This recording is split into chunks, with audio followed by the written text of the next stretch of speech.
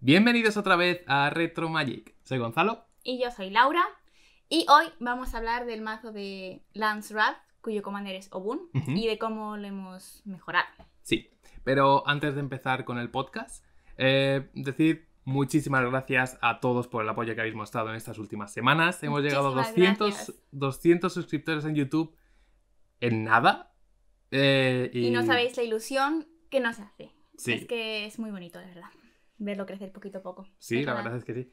Eh, así que muchísimas gracias, seguid mostrando vuestro apoyo y bueno, pasadle los vídeos a quien creáis que puede estar interesado en Magic o en el formato de Commander. Sí. Y bueno, sin más, vamos a empezar con el podcast de hoy. Sí, Eh, bueno, como hemos dicho, vamos a hablar de Lance Wrath. Quiero mencionar que es un mazo que viene muy bien, tal cual sacado de la caja. Eh, iba a entrar en mi colección privada de mazos a los que voy a, us- que voy a usar eh, muchas veces porque me ha gustado mucho, lo he disfrutado muy, mucho tal cual viene, es muy dinámico, es muy versátil. Sí. Y, y eso. Bueno, vamos a hablar de lo que es todo lo que podéis hacer con él. Siempre hay, hay cosas que se pueden mejorar y tal, pero tal cual está genial. sí. Y la verdad es que está, está muy bien, es un comandante que está muy bien y es muy versátil. Eh, puede ser llevado por muchísimos caminos y las cartas de las que vamos a hablar no son cartas eh, que tengáis que meter para hacer del mazo un mazo bueno, son cartas que nosotros pues eh, nos han gustado, funcionan bien con el propio mazo y bueno, pues obviamente es una manera de mejorarlos, pero es solo uno de los caminos por lo que puede ir el comandante. Así que vamos a leerlo lo primero y seguimos con ello. Eh, Obun Moonlight Ancestor, por uno genérico, rojo, verde y blanco, es decir, Naya. Es una Legendary Creature, Elf Spirit, es un 3-3. Al principio de combate en tu turno, hasta una tierra objetivo se transforma en un elemental XX con prisa y arrollar, donde X es el poder de Obun y es, sigue siendo una tierra. Además tiene Landfall, que cuando una tierra entra bajo tu control, pones un contador más uno más uno en una criatura objetivo. Sí. Como veis, muy versátil. Em, podéis hacer un mazo de Landfall con él. Podéis llevarlo por contadores más uno más uno. Podéis eh, centraros en animar tierras, por ejemplo. Em, o, o centraros en hacer de Obun una criatura muy grande para que la tierra que anime haga mucho daño. Sí.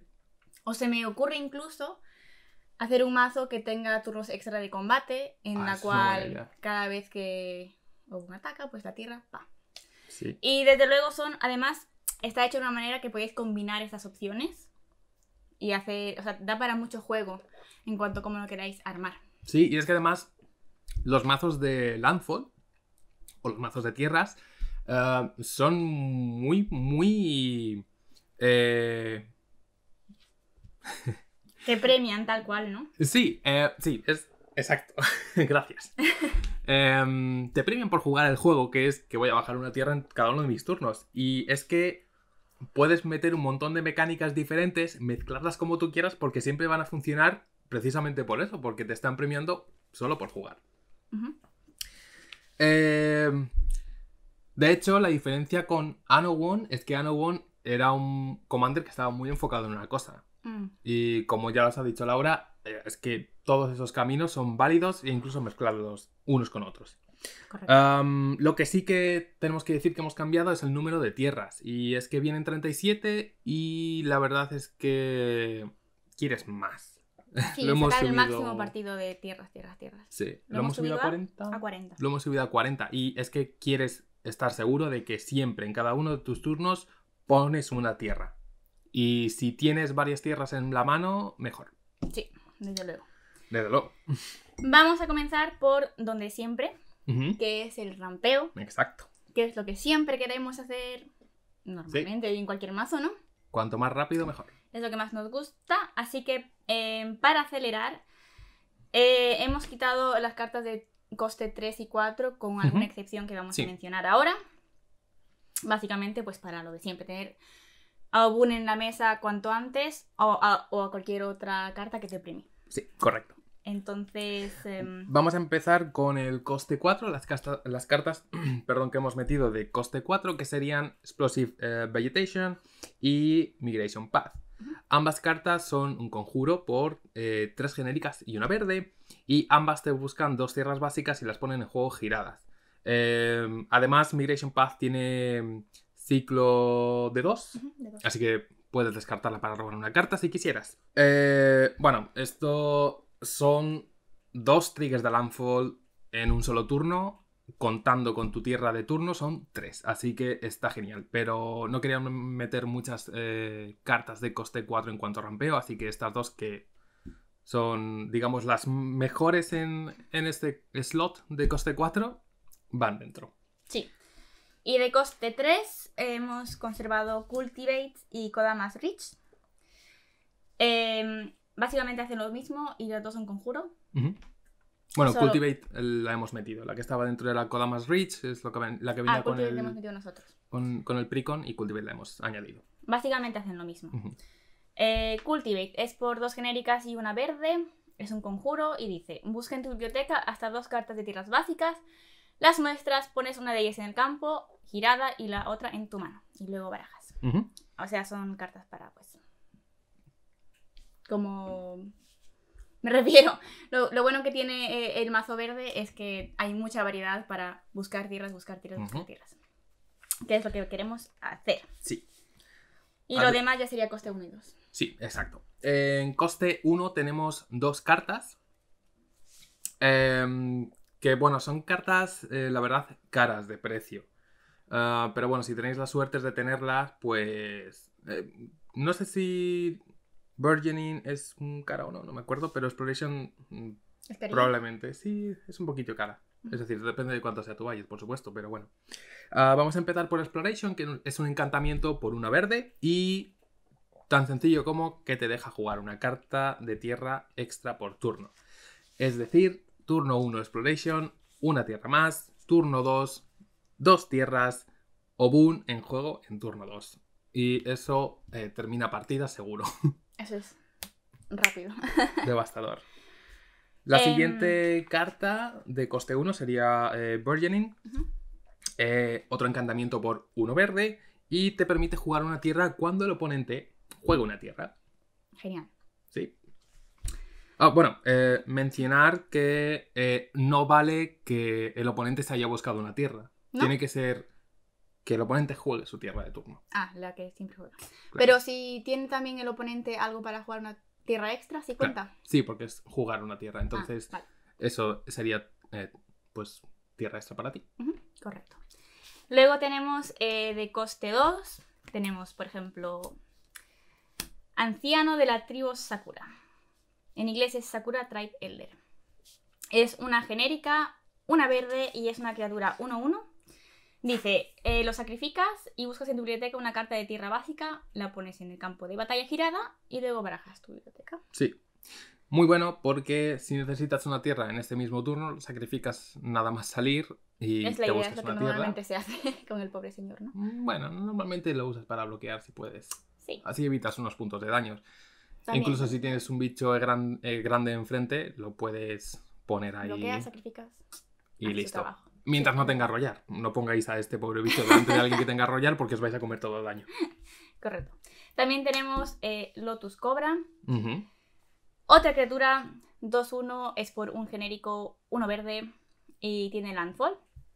Siempre que entra una tierra al campo de batalla bajo tu control, agregas un maná de cualquier color. Sí. Esto está genial. Guau. En especial si tienes Fetchlands. Desde es luego. decir, ¿qué es la idea? En plan, primero Fetchland, maná. Buscas tierra, maná extra. Y ahí Exacto. tienes, ¡pum! el Más la tierra que te has jugado. Bueno, si es una fecha, exactamente. Tierras. Bueno, Eh, si tienes eh, tierra para bajar, si tienes exploration, puedes bajar dos tierras, una una fecha, ya tienes dos manas, bu- buscas por la fecha, Crazy. manas. Manas. También tenemos eh. Es un conjuro, una genérica, uno verde, y dice, busca en tu biblioteca una carta de llanura, isla, pantano o montaña, la pones en campo girada y barajas. Correcto. Em, muy bien. Son todas muy similares, la verdad, ¿no? Sí. Eh, es, Lo eh, bueno de Farseek es que te deja buscar una carta de bosque, es decir, no tiene que ser una tierra básica. Si tuvieras cartas eh, dobles, como por ejemplo las Shocklands, que tienen ambos tipos de tierra, puedes buscarte una tierra doble. Claro, es verdad. Así que eso que te llevas con Farseek. Eso que te llevas. Eh, Bueno, son todas. eh, sí, como veis, todas hacen bastante lo mismo. El- la siguiente que tenemos es crecimiento exuberante. Eh, uno genérico, uno verde. Buscas una tierra básica, la pones en juego. It is what it is. Is what it is. Um, siguiente, tenemos una que acaba de recibir un reprint muy importante porque estaba alta de precio. Y es Three Visits. Es un conjuro por una incolora y una verde. Buscas una carta de bosque y la pones en juego. Punto. es decir, no la pones en juego girada. La pones en juego enderezada. Sí, eso siempre es un plus. Mucho plus porque además como eh, Farseek es una carta de bosque, es decir, puede ser de doble tipo, ya sea bosque montaña o bosque llanura. Y la puedes usar en el turno en el que juegas. Pasamos a... Tríada Dryad of the Elysian Grove. Es una criatura encantamiento, ninfa, eh, dos incoloras y una verde por un 2-4. Dice, puedes jugar una tierra adicional en cada uno de tus turnos y las tierras que tú controlas son de todos los tipos de tierra básica. Es decir, que te dan mana de cualquier color. Sí, es que no es que tus tierras te den mana de cualquier color, solo. Es que todas tus tierras son de todos los tipos de tierra. Eh, y eso me recuerda que puedes crear un combo very nice con esto, Ajá. que vamos a mencionar más tarde. Sí, Pero da para mucho juego también. da para muchos juegos, sí. Bueno, ¿qué tenemos también? Eh, sí, podemos pasar a... um, Escape to the Wilds. Escape to the Wilds es un conjuro por tres genéricos, uno rojo y uno verde. Exilias las cinco primeras cartas de tu biblioteca. Puedes jugarlas, eh, las cartas exiliadas de esta manera, hasta el final de tu próximo turno. Y puedes jugar una tierra adicional a este turno. Guay. Y Oracle of Muldaya, que es por tres genéricos y uno verde, es una criatura 2-2. Y dice, puedes jugar una tierra adicional, adicional en cada de tus turnos. También juegas con la primera carta de tu eh, library revelada y puedes jugar tierras del top de tu library. Está genial eso, porque realmente es una forma de filtrar eh, El top, ¿no? Es El una top forma de- de, de- de filtrar tus robos. de tus robos. Es decir, usas estas tierras y luego eh, robas cartas que van a ser útiles Exacto. para hacer cosas. Sí. Está muy bien. Bueno, ahora vamos a irnos al robo. Sí. A mencionar que eh, Escape to the Wilds cuenta como carta de robo también, ¿vale? Porque esas cinco cartas que te exilia las puedes jugar durante dos turnos, el turno en que la juegas y el turno siguiente. Así que están ahí disponibles para ti. Es eh, lo que se está llevando ahora mismo en el color rojo, que es lo que se llama como eh, robo impulsivo, ¿no? Exilias cartas que puedes jugar y si no las juegas, pues las pierdes. Ah, Adiós. Eh, sí. Em, decir que en cuanto a la sección de robo, vamos a estar usando un robo un poco no convencional. Em, además, hemos aumentado dos cartas de robo. Venía el mazo con 8 y las hemos aumentado A diez. a 10. Porque en estos mazos que vas a vaciarte la mano jugando muchas tierras, no quieres quedarte nunca sin gas. Como por ejemplo tenemos Magus of the Will. Dice, bueno, es una criatura 3-3. eh, Se saca por dos genéricas y una roja.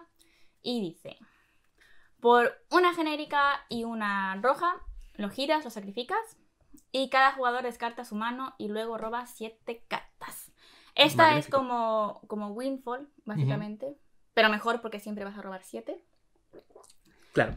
Eh, y está genial en un mazo como este porque, claro, esperas vaciar tu mano bastante rápido o si imagínate que tienes solo tierras de pronto en la mano, está bien. Sí, sí, sí, sí. Desde luego. Sí, es, es una, Y- es una mano entera nueva para Claro, jugar. o sea y además que- no te molesta eh, mandar tierras a tu cementerio porque vamos a hablar de cartas que también están en el mazo que van a, a ayudar a...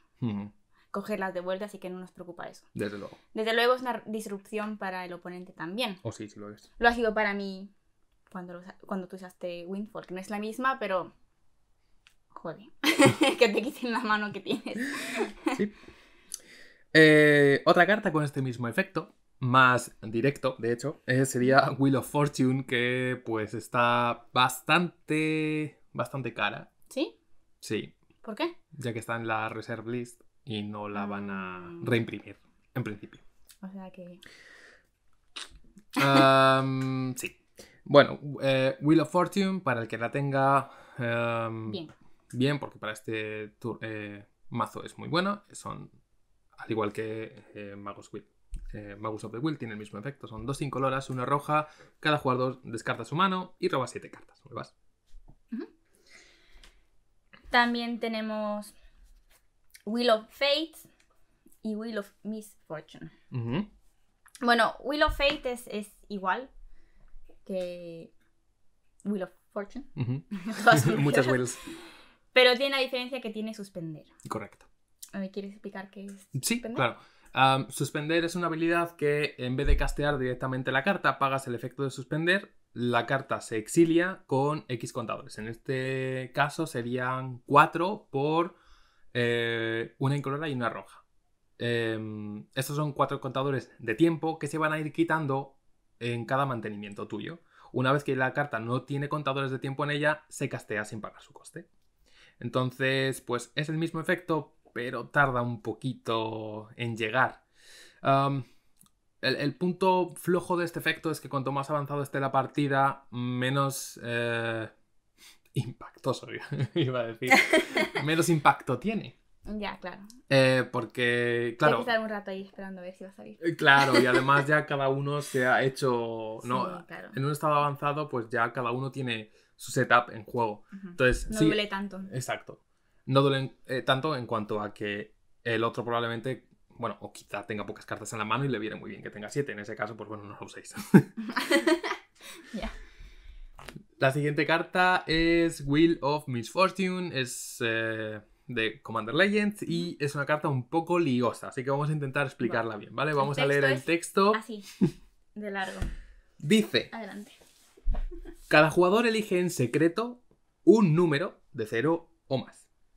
Luego, todos los jugadores muestran esos números simultáneamente y determinan cuáles son el número más alto y el número más bajo. La rueda de la desgracia, Wheel of, of Misfortune, hace una cantidad de daño igual al número más alto a cada jugador que eligió ese número. Cada jugador que no eligió el número más bajo descarta su mano y roba 7 cartas. Para explicar eso, pongamos que eh, pues somos 4 jugadores. Laura elige el 5. El siguiente jugador elige el 6, el siguiente el 7 y yo elijo el 10. Lo que pasaría es que yo que he elegido el 10 y cualquier otra persona que hubiera elegido el 10 eh, se haría 10 daños, pero se, llevar el- se llevaría el efecto de eh, Wheel of Fortune, de descartar la mano y robar 7 cartas. Laura, que ha elegido ¿El más bajo? el más bajo, no se llevaría nada. Pero es que además, cada jugador que no eligió el punto más, el número más bajo, también se lleva el efecto de, de Wheel, of, eh, Wheel of Fortune. Es un poco como. Es el un poco. póker. Claro, es un poco póker, es una carta un poco póker, pero es que también hay que jugar con tus puntos de vida, ¿no? Claro, claro, que es que pensar. Y, y los puntos de vida de los demás, ¿no? ¿Cuánta vida estaría dispuesto el otro a dar? ¿Cuánta vida me puedo permitir dar? Mm, solo le queda una vida. ¿Qué va a decir? Así que bueno, es poco liosa, pero puede ser eh, entretenida de, de jugar. Sí. Vamos a pasar a la siguiente que es Tectonic Reformation. Ujú. Dice. Es un encantamiento eh, por un genérico y un rojo. Y dice: Cada carta de tierra en tu mano tiene la habilidad de ciclo 1 rojo. Ciclo 2. Si pagas 2, descartas esta carta y robas una carta. ¿Quieres explicar por qué es tan buena? Pues sí. Esta carta es tan buena porque convierte a todas tus tierras en robo de cartas. Y es que eh, teniendo 40 cartas, eh, 40 tierras en el mazo, probablemente tengas bastantes tierras en la mano. Con, esta, con esta carta haces que tus tierras ya no sean cartas muertas.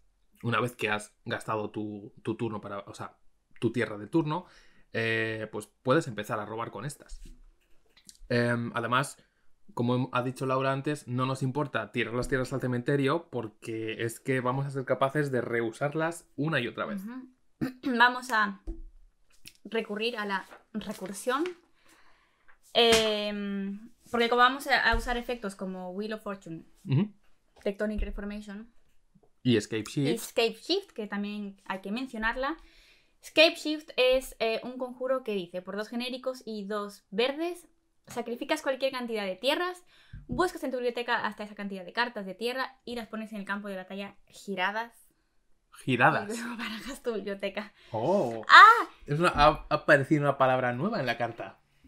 Una palabra que yo no he leído una vez que lo he jugado. Ya veréis. De hecho, en la partida de estos mazos me equivoqué. Bueno, no afectó a la partida, todo se ha dicho, ¿eh? Pero... No afectó a la partida. Pero podéis ver el efecto devastador que podría haber tenido porque crea en un solo turno 14 tokens. Que no sirvieron para nada. Pero podría, podría haber servido. Podría, podría. Eh, bueno, entonces em, queremos recuperar esas tierras. No Sí. nos importa que se hayan ido. Y tenemos unas cartas chachis. Por ejemplo, tenemos Ramuna Excavator. Es sencillo, es una criatura eh, por dos genéricos, uno verde. Puedes jugar tierras des- desde tu cementerio. Ujú. Eh, también- Esos son. Bueno, la siguiente es que es, es la misma carta. La siguiente es básicamente la misma carta. La diferencia es que es un artefacto. Es Crucible of Worlds. Eh, vale tres genéricos. Hace lo mismo. Puedes jugar tierras de tu cementerio. Es que estas cartas se convierten en casi un. Puedes jugar una tierra extra por turno, porque eh, si tienes una fetch land, la sacrificas, la vuelves a jugar, poniendo por supuesto que no hayas jugado tu tierra de turno.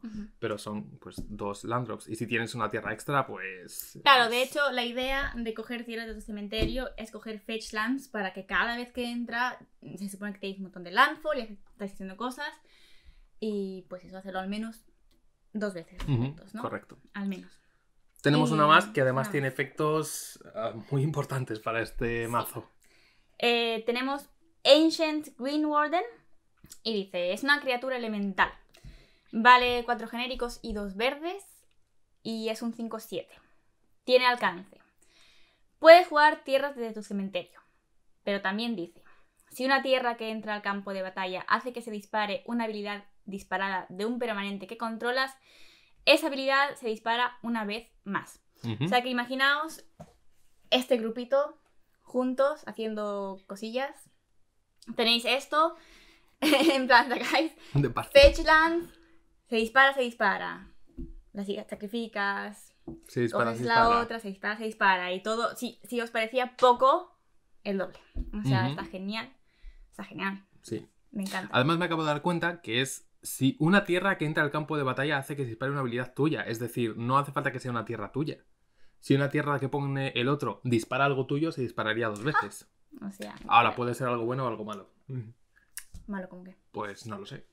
Ahora mismo no tengo ninguna carta en mente, pero si, al, si una tierra que entra al campo de batalla del otro hace que un permanente tuyo... eh, no Ah. sé. Oh, bueno, se me acaba de ocurrir una carta. Zozu the Punisher. Es por uno incoloro, eh, perdón, uno genérico, dos rojos por un 2-2 Legendary Creature Goblin Warrior. Dice, cuando una tierra entre al campo, mm, una tierra, cualquiera, Zozu hace dos daños al controlador de esa tierra. Es decir, Uy.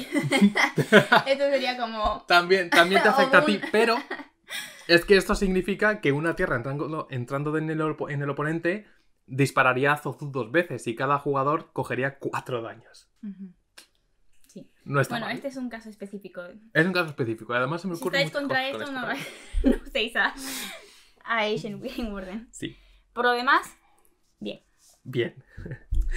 Perfecto. Am, pasamos a hablar de a los payoffs. Bueno, antes de, de hablar de los payoffs, hay que hacer una mención especial a una carta. Y es que, ya que vamos a usar eh, ya que vamos a tener tantísimas cartas en juego, hay que hablar de eh, Blackblade Reforge. Es un artefacto, encantamiento legendario. Por dos eh, genéricos. La criatura equipada tiene más uno más uno por cada tierra que controlas. Se equipa por 3 a una Ostras. criatura legendaria y se equipa por 7 por siete a una criatura normal. Ah, pero la idea es equiparlo a Obun. Eh, desde luego, ¿No? desde luego que es la- esa es la idea. Y así la tierra que ataca. Tasca. Súper grande. Exacto, es que meterle, tener seis tierras, que es fácil Sí. tener en turno 3 tener seis tierras, o 4 tener seis tierras. si Meterle esto a poquito- es que. Es que Obun tiene tantas tierras, de hecho, cuando lo editabas, tenías que esperar a que gire todo lo que tenía en un cierto punto. Es que es. Bueno, se va de las manos. se va de la las idea. manos.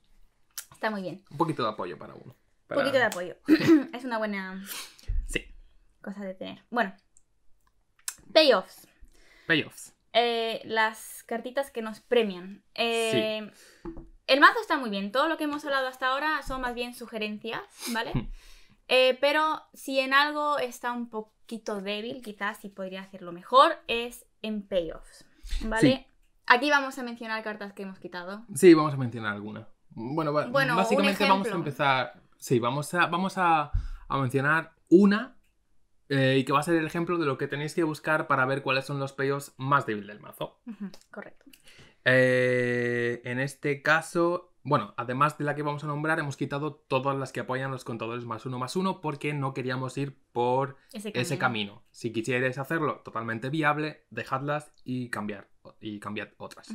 Pero para nosotros meter todo lo que queríamos meter, Sí. esas las hemos quitado. Correcto. Eh, vamos a hablar de Admonition Angel. Eh, Admonition Angel es un ángel por 3 incoloras, un blanco, un blanco, un blanco, para un 6-6 que vuela y tiene Landfall. Siempre que una tierra entre al campo eh, bajo tu control, puedes exiliar el permanente objetivo que no sea Admonition Angel. Y cuando Admonition Angel deja el juego, regresas todos los permanentes al campo bajo el control de su propietario. Eh, esta carta es una carta buena, eh, pero tiene un punto fuerte y un punto débil. Ah, y el punto fuerte es como muy específico. Es más como si te hacen un damnation o algo, ¿no? Sí, exacto. A, Por a- ejemplo. a- a eso iba, a eso iba a ir. Es que el punto fuerte de la carta es que puedes usar su habilidad de Landfall como una habilidad de protección, ¿no? Estás en el turno del oponente y, por ejemplo, digamos... ah, bueno, no, no, no tenemos maneras de jugar tierras a velocidad de instantáneo, pero, por ejemplo, si tuviéramos Fetchlands que todavía no hemos sacrificado, eh, y el oponente quisiera hacer un destruye todo, eh, pongamos por ejemplo un Wrath of God, puedes eh, sacrificar esas Fetchlands, poner tierras en juego y disparar a Admonition Angel, exiliando tus permanentes. Después se resolvería el Wrath of God, Angel of Admonition se destruiría y traería Todo todos vuelve. tus permanentes de nuevo en juego, haciéndote quedarte en positivo respecto al otro jugador. O sea, suena muy bien y Claro. es muy útil si esa situación específica, Exacto. si se diera el caso. Si no será Correcto. ese caso, de además de que lo hayas podido hacer y además de que cuando lo has usado no te lo haya encontrado estado, yo qué sé. Si Claro. todo eso se, se- si el universo, se alinea, entonces vale. Entonces está genial, pero por, por, Claro. lo, por lo demás hay Claro. cosas más útiles Eh, sí. que podemos Su, usar. su punto. Su punto débil viene también de eh, su punto fuerte, entre comillas. Porque su punto. El punto fuerte de esta carta eh, es que debería ser un finisher. Y lo parece. Juegas un montón de tierras, exilias las permanentes del oponente y dices, vale, tengo campo abierto para entrar con todo y acabarte. Pero el problema es que cuando, si eso pasa, te hacen, por ejemplo, pues un Path to Exile o eh, cual- cualquier cosa que te destruya a Admonition Angel eh, y sus permanentes vuelven en juego. Y si tú ya has atacado con todo, eh, ya no hay vuelta atrás. Es decir, sus permanentes vuelven y son capaces de bloquear a tus criaturas. Entonces, Risky. Claro. Entonces, parece, parece muy buen finisher, pero en realidad eh, cojea bastante ahí porque no es, no, es, no es muy fiable, ¿no? Digamos. No fiable. es seguro te voy a acabar el juego. Y eso es lo que tenéis que buscar a la hora de eh, mejorar los payoffs de este mazo. Por ejemplo, las cartas que vamos a meter, que vamos a mencionar, son finisher seguros. Es decir, su habilidad va a la pila y ya no hay quien lo pare. Correcto. Pase lo que pase, está hecho. Sí. Un buen finisher. Tenemos a Morok Fu- Fury of Akum. Y dice: Es una criatura legendaria. 6-6. Por 4 y 2 rojas. Cada criatura que controlas obtiene más 1 más 0 por cada vez que haya atacado este turno. Y su landfall es que siempre que entre una tierra al campo de batalla bajo tu control, si es tu fase principal, si es tu fase principal, hay una fase de combate adicional después de esta fase. Y al comienzo de ese combate enderezas todas las criaturas que controlas. Correcto. Una carta muy abusiva, Muy abusiva. que es lo que queremos cuando hablamos de un finisher, ¿no? Que viene a hacer lo que hace. y em, es excelente, pero es, puede, puede ser un poco confusa y es importante saber cómo usarla bien, em, porque la fase de combate que te da se sitúa antes de tu fase de combate normal. Ah. Eso quiere decir Entiendo. que la forma de hacerlo sería hacer tu combate normal, atacar la primera vez, y luego usar el combate extra. Ah, claro. Así claro. puedes enderezar todo lo que has hecho y em, de la otra manera no tendría sentido hacerlo. Claro, correcto. Porque sí. se endereza por esta habilidad. Ajá, entiendo. Además, la primera habilidad combina muy bien con Ubun. Porque Claro. como obtienen más uno más, más cero cada vez que han atacado, eh, Obun en cada combate extra se va a ir haciendo más fuerte. Entonces la tierra, Y la tierra que va a va- animar en cada combate se va a ir haciendo más fuerte también. Va a dañar bien. Mm. Así que está muy Sí. bien. Mejor que Ammunition Angel, desde luego. Sí. Otros payoffs. Vamos a hablar de Filad, Filad, ¿Fila? Filad. Filad World Sculptor. Es un 5-5 Legendary Creature Elemental por 4 genéricas, una roja y una verde. Dice, cuando entra en juego, eh, creas un token de planta 0-1 por cada tierra básica que controles. Y tiene landfall, cuando una tierra entra bajo tu control, pones 4 contadores más 1 más 1 en una planta que tú controles. O sea, en el token que ha sacado. U otra planta. si U quieres. otra planta. Sí. Y esta combina muy bien con la siguiente carta. Avenger of Zendikar. Dice. Bueno, es una criatura elemental 5-5. Se saca por 5 genéricos y 2 arbolitos. Cuando entra al campo de batalla, crea una ficha de criatura planta verde 0-1 también. Por cada tierra que controlas. Ujú. Y su landfall dice que siempre que una tierra entra al campo de batalla bajo tu control, puedes poner un contador más uno más uno sobre cada criatura planta que controles. O sea, Claro. son best friends, Sí, ¿no? sí.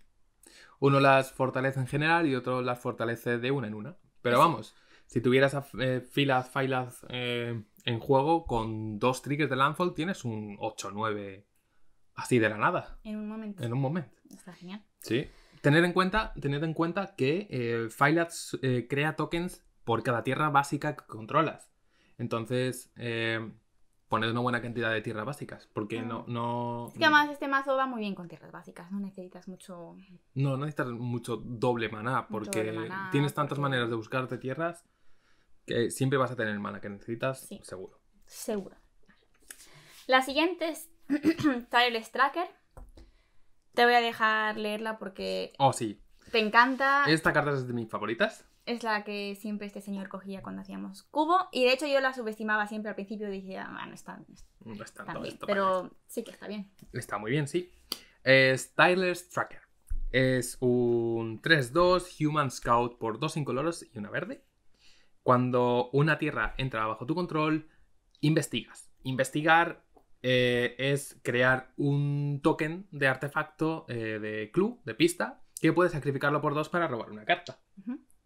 Además, Tyler's Tracker dice que cuando sacrificas una clue, le pones un contador más uno más uno.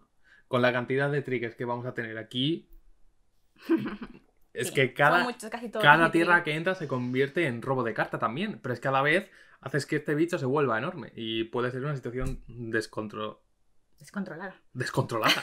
pero más descontrolada es lo que puede hacer el siguiente bicho que tenemos. Sí, sí, sí. El siguiente es Scootsworm.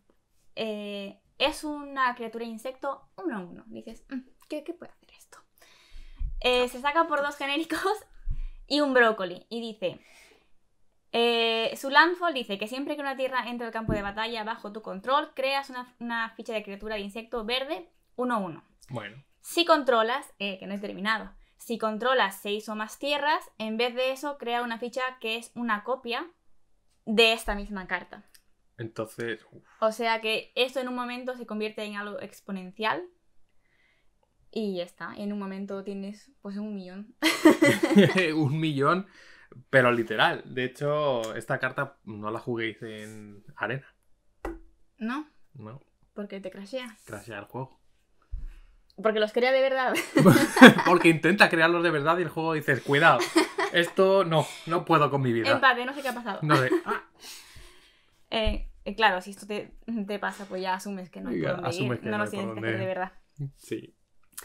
También tenemos Nesting Dragon. Nesting Dragon. Es una criatura dragón, por supuesto. Tres incoloras y dos rojos, por un 5-4 que vuela.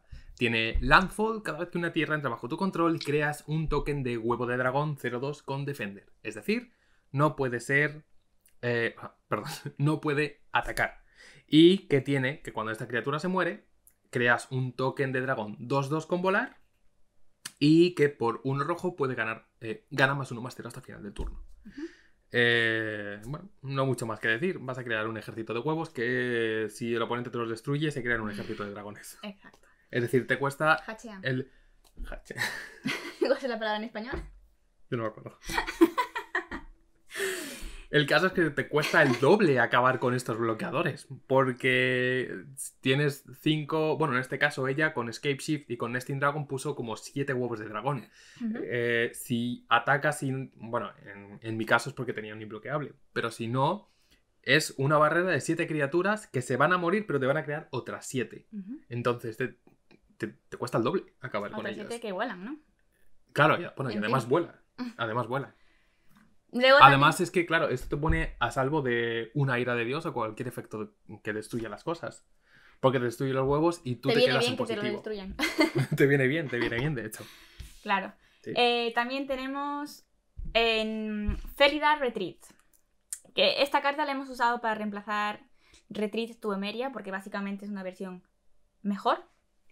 Totalmente. Bueno, totalmente. to Emeria os voy a mencionar cuál es, ¿vale? Para que sepáis. Entonces, es un encantamiento que se juega por tres genéricos y uno blanco. Y su landfall es que siempre que entra una tierra al campo de batalla bajo tu control, eliges uno. Creas una ficha de criatura blanca 1-1 o las criaturas que controlas obtienen más uno más uno hasta el final del turno. Bueno, suena bien. Pero es que este es mejor. Porque eh, Felidar Retreat dice, como lo mismo pero mejor, dice, eh, el landfall es también que cuando entra una tierra, bajo tu control, eliges, creas una ficha de criatura bestia, felino, blanca, 2-2, Mm, Vale. y pones un contador más uno más uno sobre cada criatura que controlas. Ah, vale. O sea, no se va, ese es el contador. No como la otra que solamente es al final del turno, el, Mm. el más uno más uno. Y las criaturas ganan habilidad de vigilancia hasta el final del turno. Vale, sí, es que no tiene comparación. Eso es mucho mejor. claro. Bueno, podríais llevar las dos en el mazo. Sí. Es decir, ¿por qué no? ¿Por qué no? Sí. Pero, Pero, con todo es lo que decir, hay. ah. Claro, si fueras a cambiar cartas, esta es un, es un, es un, es un cambio directo de esa. Eh, y también tenemos. Este es el último set, bueno, el penúltimo set de finishers. Y esto es, es, eh, una manera totalmente distinta de acabar la partida. Porque, eh, pues si no hay manera de entrarle al oponente, pues tírale las tierras a la cara. ¿Y a qué nos referimos con esto? Pues que qué manera más sorprendente e inesperada de acabar una partida que con eh, Sylvan Awakening, por ejemplo. Es un conjuro por dos, dos eh, genéricos y uno verde que dice, hasta tu próximo turno, todas las tierras que controlas se convierten en elementales 2-2 con alcance, indestructible y prisa y siguen teniendo tierras. ¿De dónde han venido? Tiene de todo. Claro, es que eh, vas a tener mil tierras. Y encima no es que, que no tengas tierras para atacarla, pero que solo vale dos genéricos y Exacto. uno verde. Encima es como. Toma. Toma. Sí. Eh, por supuesto, no llevéis solo un efecto como este en el, camp en el mazo, eh, llevad varios para tener un poco de consistencia con esto. M- No muchos, ¿vale? Vamos a poner tres. eh, no recuerdo si hay más o no, ¿vale? Pero tres es una buena cantidad para que no salga muy a menudo y no salga cuando no lo necesitéis, ¿vale? Al principio del juego esto es una carta muerta, obviamente. No, claro, evidentemente. Se la guardas para cuando La guardas has para construido ahí. Otra sería Natural Affinity. También, eh, la bueno, dos genéricos, uno verde. La diferencia es que es un instantáneo. Eh, hasta el final del turno, todas las tierras son criaturas 2-2 que siguen siendo tierras. Este tiene el factor sorpresa. Sí, En plan de, claro. ah, sí, pues toma. Y de pronto tienes un millón de criaturas 2-2, ¿no? Sí. Lo puedes sacar cuando mejor te venga. Sí, claro. Esto... Y nadie se lo espera. Esto vale como truco de combate. Te atacan, parece que estás acabado Pero y no. te revientan los eh. árboles. sí, eh, y también tenemos eh, Root Awakening. Eh, esta es por cuatro genéricas y un árbol. Escoges uno. Enderezas todas las tierras que controlas. Y la otra es, hasta el final del turno, las tierras que controlas se vuelven criaturas 2-2, que también son tierras. Pero tiene en Twin por dos y un árbol. Y uno verde. Y uno verde. Que, puede- que dice que puedes escoger las dos si pagas este coste adicional. Dices, oh, qué caro, pero mm, En realidad no, porque vas a enderezar las tierras que has usado para sacar esta carta. Claro, igualmente. se convierte en un hechizo gratis. Es como vago, pero... eh, ¿No? Sí. Además, eh, bueno, antes, eh, antes de usar esto, eh, subíos todo el mana, ¿vale? Porque tendréis un montón de tierras. Ujú, Subíoslo todo, luego vais a jugar esto, las tierras se van a enderezar. Si tuvierais, por ejemplo, uf, si tuvierais Felida Retreat aquí, Mm. es- eh, significa que vuestras tierras ganan vigilancia. Además de poner contadores más uno más uno a todas Es sus tierras. es Ah, y además siguen siendo tierras, o sea que... Sí, sí, sí. Muy buenas. Abusivo, como nos gusta. Abusivísimo. Vale, ah, llegamos al final de las mejoras. Pero hay que hablar de una cosa. De ese combo que hemos mencionado antes, Sí, este es el final de las mejoras. hacia el final de las mejoras. Eh, de nuestro querido Balakut, que es una tierra Eh, que dice lo siguiente. Balakut de Molten Pinnacle. Es una tierra que entra girada. Y dice, cuando una tierra entra al campo bajo tu control, si controlas al menos 5 otras montañas, eh, puedes hacer que Balakut haga 3 daños a cualquier objetivo. Además te agrega mana rojo. ¿Y cuál es el combo aquí? Pues el combo Bueno, es Ah, que si tienes Dryad, que lo hemos mencionado antes, Claro, es el- que todas tus tierras son todos los tipos. Exacto, ahí, ahí entra el combo. Todos son montañas. Para darle un poco de consistencia, también vamos a añadir eh, Prismatic Omen. Es un encantamiento por uno incoloro y uno verde, que hace lo mismo que la Dríada, ¿no? Eh, todas las- tus tierras tienen todos los tipos de tierras básicas. ¿Y dónde está el combo? Pues hay que añadir al combo Escape Shift. Eh, sacrificas todas tus tierras. Bueno, todas tus tierras no, perdón. Sacrificas el número de tierras y te buscas tierras y las pones en juego. Entonces, eh, el punto aquí es, si no tienes Balakut en juego, te la buscas con Escape Shift. Como tus tierras son de todos los tipos, todas las tierras que van a entrar en juego son montañas, incluida Balakut. Lo que hace que cada una de esas tierras haga tres daños a cualquier objetivo. Claro, todo se pone a la vez y se activa a la vez. ¿no? Exacto. Otra manera también de potenciar esto sería tener dos Balakuts. O tres O tres. Balakut. No, pero en realidad podrías, por ejemplo, poner eh, tierras que la copian. Correcto. Extrañamente, Balakut no es legendaria, o sea que no hay La verdad es que no, no veo un- una explicación muy clara de por qué no es legendaria. No sé, pero. Es decir, es, un, es, una montaña, es una montaña que tiene nombre propio, pero bueno. sí. Ah, sí, e- efectivamente, una manera de, de hacer más consistente este combo es tener más copias de Balakut. Puede ser Vesuba, Exacto. que es una tierra que. Nada, cuando entra hace una copia de otra tierra. Entra como una copia de otra tierra. Entra como una copia de otra tierra. Correcto. ¿Y cuál otra más hay también? Eh, Thespian Stage. Ajá. Es una tierra que te da incoloro, así que mm, no como Besuba que entra como una copia sí o sí, esta bueno, te puede dar mana incoloro. Eh, por dos lo giras y se convierte en una copia eh, de otra tierra. Eh, te da igual que se gire porque lo importante es la habilidad de que cuando una montaña entra va a hacer 3 daños. Además, bueno, en, en, en Commander jugamos con más tierras que... Perdón, jugamos con más vidas que en otros formatos. Aquí jugamos con 30 o 40 vidas, ¿no? Entonces, quizás se puede hacer un, un, poco complicado llegar a esos 30 o 40 daños, pero obviamente, eh, pues eh, este combo. Bueno, en principio ya vas a haber hecho algún puntito de daño, ¿no? O a lo mejor el otro. o unos cuantos. Eh, unos cuantos. si no, una manera de que esto sea mata seguro es con el Green Warden, que doblas todos los triggers. Es decir, cada tierra con una sola, un solo balacul te va a hacer 6 daños acá, a lo que tú quieras. O sea... Pues sí. Algo que no hemos dicho con Escape Shift es cuidado al hacerlo. Ah, ya, ya. En plan, tenéis que estar...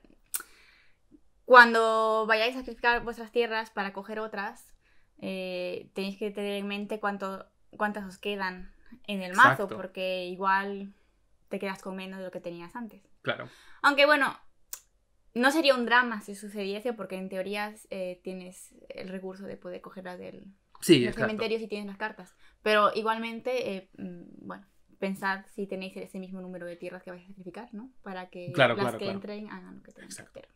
Exacto, que no te quedes en negativo cuando busques las tierras. Efectivamente. Eh, si no recuerdo mal, en el mazo viene esta saga verde, Mending of Dominaria, que te permite meter todas las tierras del cementerio en juego. Así que, bueno, si, os pasa algo así, tenéis maneras de, recuperarlas todas. ya sea poco a poco o de golpe. Eh, y con esto acabamos la mejora de Obun. Mi nuevo mazo preferido. Tu nuevo mazo preferido. La verdad es que eh, estos mazos de Zendikar Rising eh, me han gustado bastante más que los de Commander Legend. Y bueno, yo estoy bastante contento con, mi mazo de, Obu, de, de, Anowon y las mejoras que hicimos, que si no habéis visto el vídeo de las mejoras de, de Anowon, eh, saldrá por allí arriba, creo. Muy, muy contento. Y de hecho, como ha dicho Laura, este que va a entrar en su colección privada, Anowon también entra en la mía.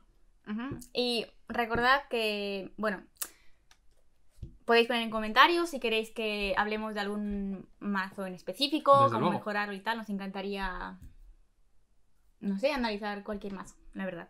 De hecho, me parece haber leído por ahí que alguien mencionaba que si íbamos a hablar de Joira. Y se me saltaban las lágrimas porque eh, en Joira es, si no la más, la que más me gusta o la que más uso porque no sé, me encantan los artefactos, me encanta todo lo que hace.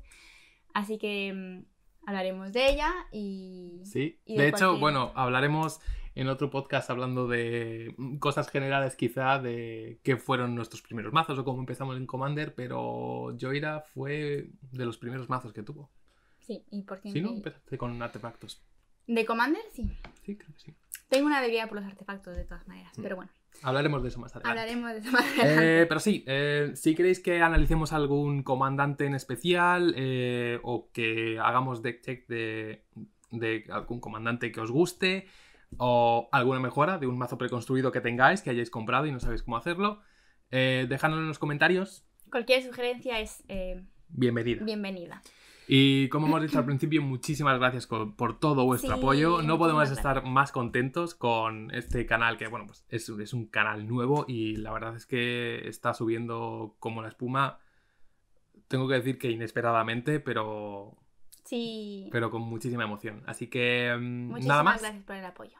Sí, muchísimas gracias. Que nos apasiona. Como siempre, si os ha gustado el vídeo, dadle a like, suscribíos si no lo estáis ya. Y nos vemos en el, próximo, episodio.